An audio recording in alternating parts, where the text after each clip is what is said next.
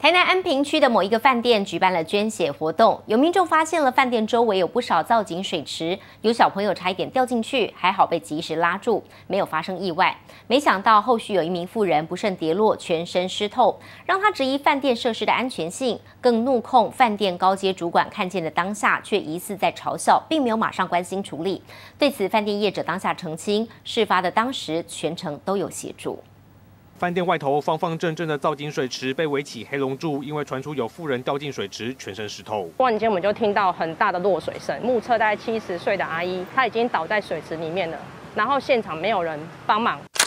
水池边缘溅起一大片水印，还可见密密麻麻的脚印。而目击民众控诉，饭店人员当时看到，不仅没马上帮忙，还疑似有人嘲笑。其实他们最高主管是有看到发生事情的经过的，走上前来灿笑着说：“怎么会掉下去啊？”他那个笑是嘲笑的笑。事发在二号台南安平区某饭店举办捐血活动，不少民众前来卷起袖子做爱心。不过目击民众发现，饭店周围有不少造景水池，两名小朋友差点掉进去，好在被及时拉住，没发生意外。没想到后续一名妇人不慎跌。落全身湿透，目击民众质疑饭店设施安全性，更怒批饭店高阶主管态度不严谨。他气得当下跟饭店反映，希望这名主管出面道歉。那我有请他们主管说，你能不能请你们刚刚那一位高阶的主管下来？可是他们就是不愿意。本意并不是嘲笑，我们只是说啊，怎么会有这样的状况发生？其实那是一个误会。我们有立即关心他是不是需要呃送医。饭店业者澄清，当下有全程协助妇人，后续也送上小礼物之意。而妇人回家换完衣服后，也有回来再捐血，没有感觉被冒犯，只是原本利益良善的公益活动，却发生意外小插曲，也让人始料未及。记者黄福吉台南报道。